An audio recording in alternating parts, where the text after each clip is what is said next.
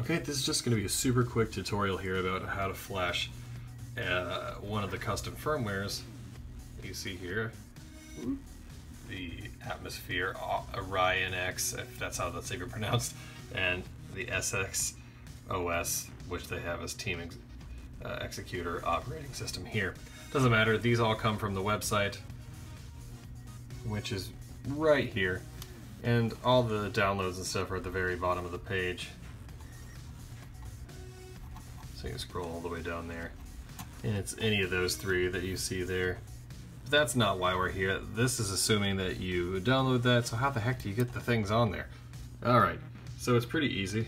Follow the logic here. Cool, uh-huh. So you plug that in there, alright. That's fine, cool. Plug that in to your computer as you would any USB.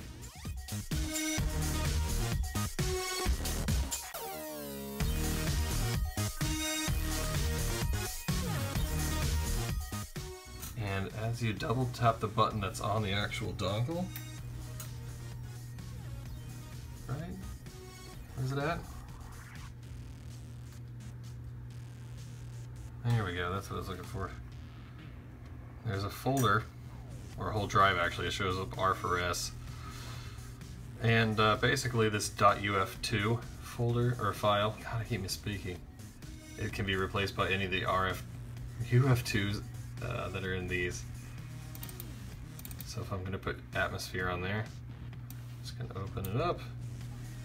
Boy howdy, I'll just drag that and cover up the old one. And that's it, now it'll work like a charm. Or if I say, yeah, you know what, Actually, I think I just want to do um, SXOS.